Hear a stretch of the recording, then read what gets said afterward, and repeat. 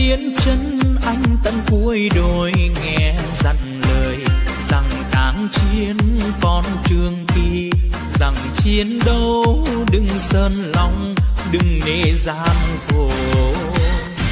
Máu con rơi, xương con rơi, bao lớp người tiền tuyến tuôn ra, ngăn quân thù dày xéo dân ta cho một ngày mới, một muôn sẽ tới, xuân phơi phới như dòng sông ra đại dương, qua bao gành và đá treo leo.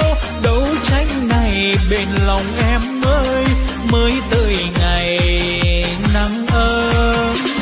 Và xa xôi em nhớ lời rằng muốn có một ngày về thì chiến đấu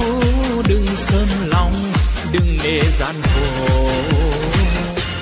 Ngày nào nghe tiếng chim, cá líu lo trên cánh hoa đào. Em nhủ thầm rằng bóng dáng người tình về về đến bên đò đầu làng là giờ anh về.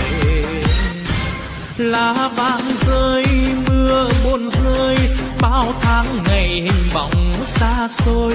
Nay anh về mừng lắm anh ơi. Ta dây cuộc đời mới. Một nguồn vui sẽ tới. Xuân phơi phới. Như dòng sông ra đại dương qua bao gành và đá treo leo. Gió mưa đừng sơn lòng em mới mới tới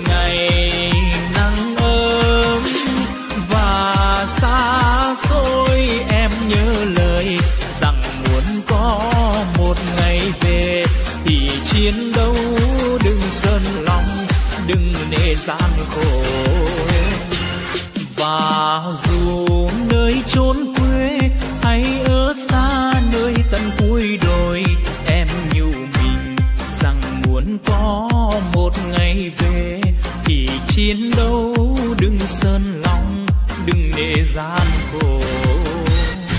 Súng còn vang, dân lầm than đây chiến trường thề quyết sông pha, ánh dương bầu biệt thân yêu, mong hòa bình tới để toàn dân mới sông no ấm. Trong ngày xanh em cùng anh lấy sức người gặt sức thiên nhiên, sống chắc hòa đồng lúa nương khoai cho một ngày gió ấm và dâng coming.